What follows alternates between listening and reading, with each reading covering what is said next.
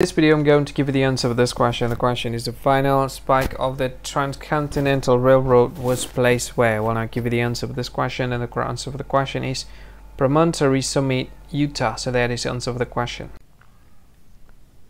Hi, thank you so much for watching this video. If you find this video is very useful, you can help this channel to grow by subscribing this channel. Please this subscribe button and don't forget to like this video. And if you find this video is not really good or you don't really like this video or you kind of feel that it's a little bit offensive or something like that, you can click this one, dislike button. You can do that anyway.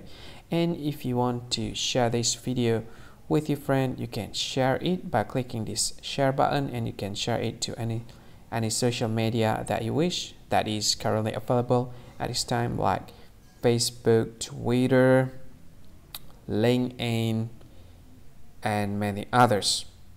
Right? And if you want to add this video to your playlist, you can click this one. You can watch this video later and you can find more options by clicking these three dots. And yeah, don't forget to subscribe. I think that's all of it. Thank you so much for watching this video and see you again in another video. Bye bye. See you again.